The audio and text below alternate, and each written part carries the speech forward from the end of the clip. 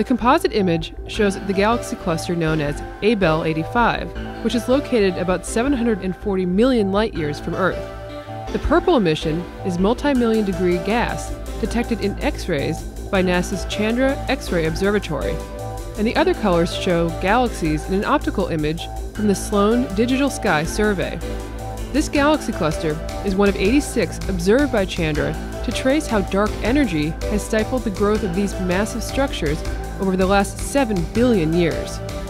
Galaxy clusters are the largest collapsed objects in the universe and are ideal for studying the properties of dark energy, the mysterious form of repulsive gravity that is driving the accelerated expansion of the universe.